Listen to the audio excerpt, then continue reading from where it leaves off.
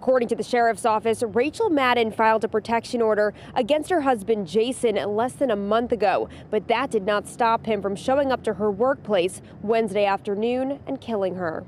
Obviously, she felt like she needed to get away from him. Whitney Bradshaw says her twin sister, 33 year old Rachel Madden, expressed concerns about her husband Jason Madden last month.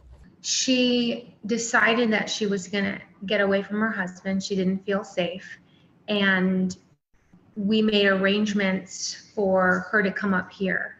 According to a source at the sheriff's office, Rachel filed a protective order against Jason on August 16th, despite the couple both working at Southern Ohio Lumber Company.